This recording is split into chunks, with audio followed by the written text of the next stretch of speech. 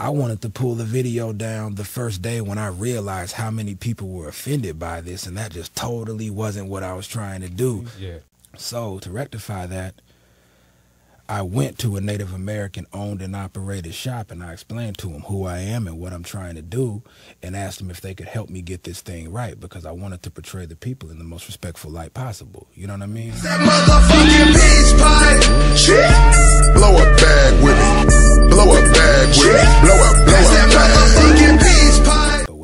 Need to do to protect yourself, your family, and the business, you know, just go ahead and do it, G. And I'll I'll eat this thing on the chin. It was my video. It was completely my idea. Yeah.